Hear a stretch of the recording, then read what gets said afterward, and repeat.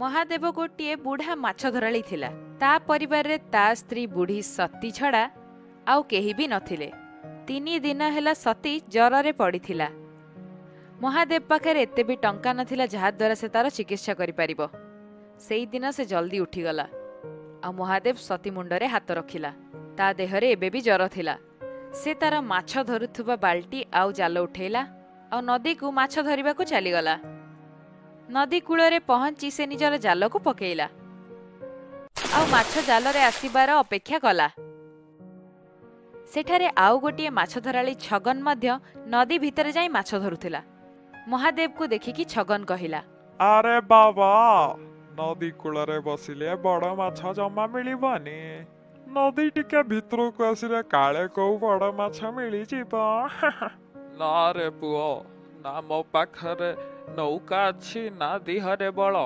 ଯେ ମୁଁ ନଦୀରେ ଯାଇ ମାଛ ଧରିବି ଯାହା ଭଗବାନଙ୍କର ଇଚ୍ଛା। ଯଦି ସେ ଚାହିଁବେ ତାହେଲେ ବଡ଼ ମାଛ ବି ମିଳିବ। ଛଗନ ଉପହାସ କରି କହିଲା ହାय ବଇଥା ସେଇଠି ତାହେଲେ ନଈ କୂଳରେ ଠାକୁର ତମ ପାଇଁ ଲାଲ ପରି ମାଛ ପଠେଇବେ। ଲାଲ ପରି ମାଛ ହେଉଛି ଗୋଟେ ଅମୂଲ୍ୟ ମାଛ ଯାହାର ଦାମ ଲକ୍ଷ ଲକ୍ଷ ଟଙ୍କା। ଏହିଭଳି ମାଛ କେବଳ ଭାଗ୍ୟବାନ ଲୋକଙ୍କୁ ହିଁ ମିଳିଥାଏ। ଥରେ ଯଦି କାହାକୁ ଲାଲ ପରି ମାଛ ମିଳିଯାଏ ତାହେଲେ ତା ଭାଗ୍ୟ ହିଁ ଚମକିଯାଏ। ହୁଁ ମହାଦେବ ବି ଛଗନର କଥାକୁ କିଛି ଧରିଲା ନାହିଁ। ଆଉ ବହୁତ ସମୟ ଅପେକ୍ଷା କରିସାରିଲା ପରେ ସେ ଜାଲକୁ ଉପରକୁ ଟାଣିଲା। ତା ଜାଲ ଭାରି ଲାଗୁଥିଲା। ଲାଗୁଛି ଜାଲରେ ବଡ଼ ମାଛ ଫସି ଯାଇଛି କିନ୍ତୁ ଯେମିତି ହିଁ ସେ ଜାଲ ଉପରକୁ ଟାଣିଲା ତାର ସବୁ ଆଶା ସେଇଠି ହିଁ ଭାଙ୍ଗିଗଲା। ଜାଲରେ ବଡ଼ ମାଛ କ'ଣ? ଗୋଟିଏ ଚୁନା ମାଛ ବି ଫସି ନଥିଲା। ସେଇ ଜାଲରେ କେବଳ କଚଡ଼ା ପୁରୁଣା ଜୋତା ପ୍ଲାଷ୍ଟିକ ପଚା ସଢ଼ା କପଡ଼ା ପଶିଥିଲା। ଏହା ଦେଖି ଛଗନ ବହୁତ ଜୋରରେ ଶବ୍ଦ କରି ହସିବାକୁ ଲାଗିଲା।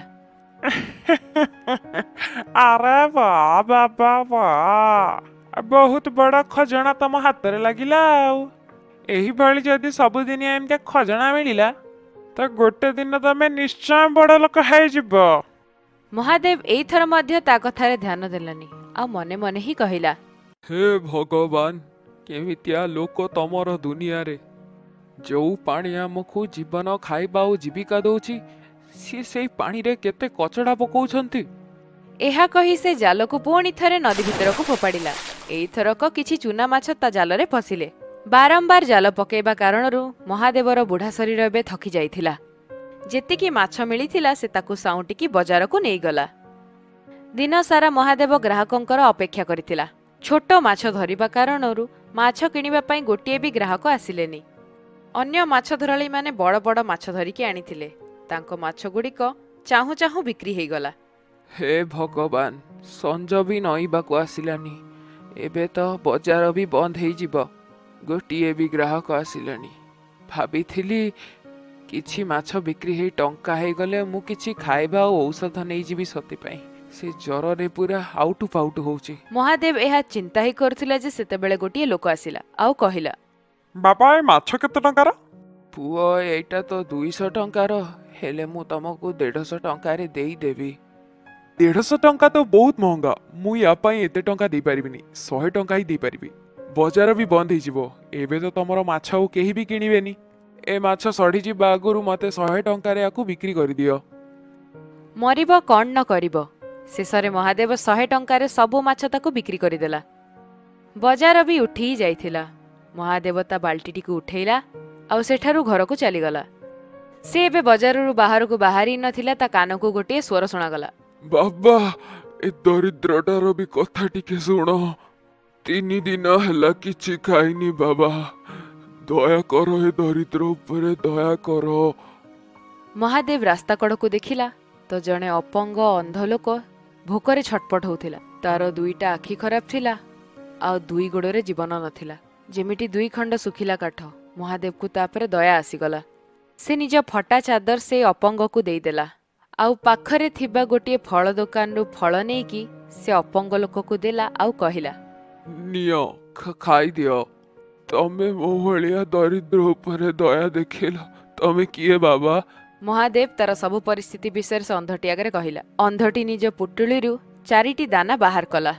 ତମେ ବିନା କିଛି ସ୍ୱାର୍ଥରେ ଗୋଟେ ଦରିଦ୍ରକୁ ସାହାଯ୍ୟ କଲ ବାବା। ଭଗବାନ ତମକୁ ନିଶ୍ଚୟ ଫଳ ଦବ ୟାର। ନିଅ ଏଇ ଦାନା ରଖିଦିଅ। କାଲି ଜାଲ ପକେଇବା ଆଗରୁ ଏଇ ଦାନାକୁ ନଦୀରେ ପକେଇଦବ। ମହାଦେବ ସେ ଦାନା ନେଇକି ନିଜ ପାଖରେ ରଖିଲା ଓ ନିଜ ଫଟା ଚାଦରକୁ ତାକୁ ଭଲରେ ଘୋଡ଼େଇ ଦେଲା। ସେଠୁ ଘରକୁ ଚାଲିଗଲା। ଘରେ ପହଞ୍ଚିଲା ପରେ ଦେଖିଲା ସତୀର ଦେହ ଏବେ ଆଗ ଅପେକ୍ଷା ଭଲ ଅଛି। ଏହା ଦେଖି ମହାଦେବ ଶାନ୍ତିରେ ନିଶ୍ୱାସ ନେଲା। ସେ ଖାଇବା ତିଆରି କରିବା ଆରମ୍ଭ କଲା। ସେ ନିଜ ପାଇଁ କିଛି ମାଛ ହିଁ ରଖିଥିଲା। ସେ ସେଇ ମାଛ ସହିତ ଆଜି ରୋଜଗାର କରିଥିବା ଟଙ୍କାରେ କିଛି ଚାଉଳ ଆଉ ଆଳୁ କରିଲା ସତୀକୁ ଖାଇବାକୁ ଦେଲା। ସତୀ ଖାଇସାରିଲା ପରେ ଯେତେବେଳେ ସେ ଖାଇବାକୁ ବସିଲା ସେତେବେଳେ ତା ଗାଁର କୁକୁର କାଲୁ ଆସିଲା। କାଲୁକୁ ଦେଖୁ ଦେଖୁ ମହାଦେବର ଓଠରେ ହସ ଆସିଗଲା। ଆଉ ସେ ତାକୁ ଗେହ୍ଲା କରିକି କହିଲା ଆରେ କାଳୁ ମୋ ପୁଅ ଭୋକ କଲାଣି କି? ରହ ତତେ ଦଉଛି। ଏହାପରେ ମହାଦେବ ନିଜ ଖାଇବାରୁ ବଞ୍ଚେଇକି ଗୋଟିଏ ଭାଗ ଖାଇବା କାଲୁକୁ ଦେଲା। ଗୋଟିଏ ବର୍ଷ ହେଲା ଏଇ ପ୍ରକାର ଜିନିଷ ଚାଲିଥିଲା। ଯେତେବେଳେ ବି ମହାଦେବ ଖାଇବାକୁ ବସେ କାଲୁ ସେଠିକି ଆସେ ଆଉ ଖାଇଦେଇ ଯାଏ। ଖାଇବା ଖାଇସାରିଲା ପରେ କାଳୁ ସେଠୁ ପଳେଇଲା। ଆଉ ମହାଦେବ ଭଗବାନଙ୍କ ନାଁ ଧରି ଶୋଇପଡ଼ିଲା ତା ପରଦିନ ସକାଳେ ମହାଦେବ ପୁଣି ଥରେ ଜାଲ ନେଇ ନଦୀ ପାଖକୁ ଚାଲିଲା। ନଦୀ ପାଖକୁ ଗଲା ପରେ ତାକୁ ସେ ଦାନା ବିଷୟରେ ମନେ ପଡ଼ିଲା ଯାହା ସେ ଅପଙ୍ଗ ଦେଇଥିଲା। ସେ ସେଇ ଦାନାକୁ ନଦୀରେ ପକେଇଲା ଆଉ ତା ଜାଲକୁ ନଦୀରେ ଫୋପାଡ଼ିଲା। କିଛି ସମୟ ଯାଇଥିଲା ହିଁ ତାକୁ ଲାଗିଲା କି ଜାଲରେ କିଛି ବଡ଼ ଜିନିଷ ଫସିଛି। ମହାଦେବ ଜାଲକୁ ଟାଣିଲା। କିନ୍ତୁ ବୁଢ଼ା ବୟସ ଯୋଗୁଁ ସେ ଜାଲ ଟାଣି ପାରୁନଥିଲା। ବହୁତ ପରିଶ୍ରମ କଲା ପରେ ସେ ଜାଲଟିକୁ ବାହାରକୁ କାଢ଼ି ନେଲା। ଜାଲକୁ ଦେଖିକି ତା ଆଖି ଖୋଲାକୁ ଖୋଲା ରହିଗଲା। ତା ଜାଲରେ ଲାଲ ପରି ମାଛ ଫସିଥିଲା। ଛଗନ ବି ଏଇସବୁ ଦୂରରୁ ଦେଖୁଥିଲା। ଏହା ଦେଖି ଛଗନ ଆଶ୍ଚର୍ଯ୍ୟଚକିତ ହୋଇଗଲା। ଆଉ ସେ ମନେ ମନେ କହିଲା ଆରେ ବାପରେ ଏତେ ବଡ଼ ଲାଲ ପରି। ହାय ଏ ମାଛ ଯଦି ମତେ ମିଳିଯିବ ସପ୍ତାହର ରୋଜଗାର ଗୋଟାଏ ଦିନରେ ହେଇଯିବ। ଏଇ ବୁଢା ଠାରୁ କୌଣସି ବି ପ୍ରକାରେ ସେ ମାଛଟାକୁ ନବାକୁ ପଡିବ।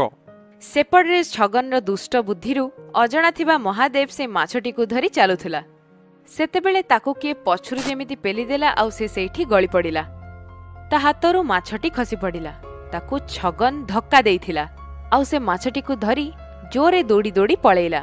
ସେତେବେଳେ ମହାଦେବ ଚିତ୍କାର କଲା ଆରେ ଆରେ ଆରେ ଚୋର ଚୋର ମୋ ମୋ ମାଛ ନେଇକି ଦୌଡ଼ିକି ପଳଉଛି ରେ ଏ ଧର କିଏ ସେ ଚୋରକୁ କିନ୍ତୁ ସେଠି କେହି ବି ନଥିଲେ ଯେ ମହାଦେବର ଚିତ୍କାରକୁ ଶୁଣନ୍ତେ ଜଣା ନାହିଁ କେଉଁ ପ୍ରକାରେ କାଳୁ ସେଠି ଆସି ପହଞ୍ଚିଗଲା ଆଉ ଦୌଡ଼ି ଦୌଡ଼ି ଯାଇକି ଛଗନ ଉପରେ ଡେଇଁ ପଡ଼ିଲା ସେ ବହୁତ ଜାଗାରେ ଛଗନକୁ କାମୁଡ଼ି ପକେଇଲା ଛଗନ କଷ୍ଟରେ ଚିତ୍କାର କଲା ତା ଚିତ୍କାର ଶୁଣି ପାଖ ଆଖର ଲୋକମାନେ ଦୌଡ଼ିକି ଆସିଲେ ଏତେ ଲୋକଙ୍କ ଆଗରେ ଧରା ପଡ଼ିଯିବା କାରଣରୁ ଛଗନ ଲାଲପରି ମାଛକୁ ସେଇଠି ଛାଡ଼ି ଦୌଡ଼ିକି ପଳେଇଲା ସେତେବେଳେ ଯାଏ ମହାଦେବ ବି ସେଠି ପହଞ୍ଚିଗଲା ଆଉ ଲୋକମାନେ ମହାଦେବକୁ ଲାଲପରି ମାଛ ମଧ୍ୟ ଦେଇଦେଲେ ଏଇ ମାଛଟା ବହୁତ ବଡ଼ ଆକୁ ଯଦି କାଟିକି ମୁଁ ମୋ ପାଖରେ ବି ଟିକେ ରଖିଦେବି ଅନ୍ୟ ଭାଗ ପାଇଁ ବି ବହୁତ ଭଲ ଟଙ୍କା ମିଳିଯିବ ମତେ ଏହା ଭାବି ମହାଦେବ ଯେତେବେଳେ ସେ ମାଛକୁ ଘରକୁ ଆଣିଲା ଆଉ ତାକୁ କାଟିଲା ତା ପେଟରୁ ନାଲିଆ ରଙ୍ଗର ଗୋଟିଏ ମାଣିକ ପଥର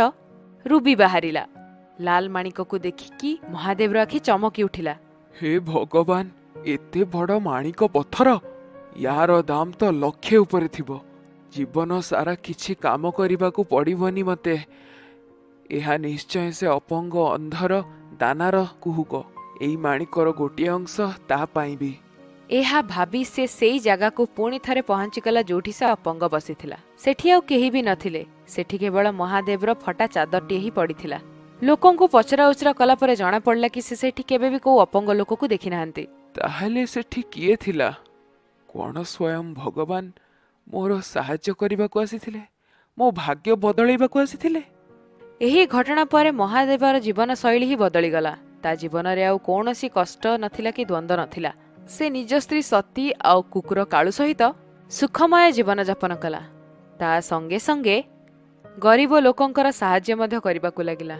କେଜାଣି ଦରିଦ୍ର ରୂପରେ ତାକୁ ଭଗବାନ କାଳେ ମିଳିଯିବେ। Thanks for watching.